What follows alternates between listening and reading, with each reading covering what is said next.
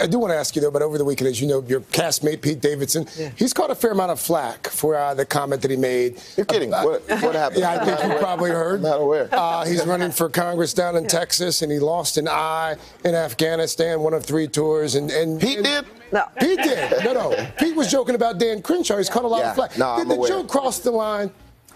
Uh, it seems it. Yeah, it definitely seems it. I mean, my father's a veteran, you know, Vietnam, and uh, I personally would never necessarily go there, but it's tough when you're fishing for jokes. Like, that's how stand ups feel like there's no real filters out there in the world when they're trying to go for a great joke or whatever.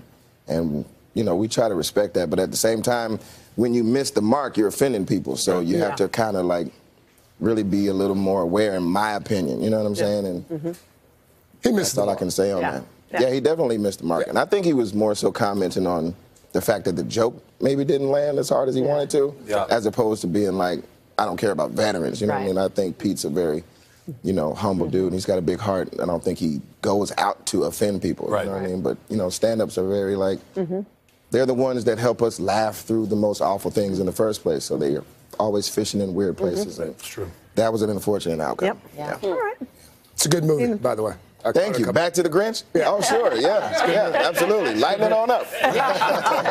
yeah, thank you. I'm Can you glad. answer his question again as Bricklebaum? Please don't. when you're looking for a good joke,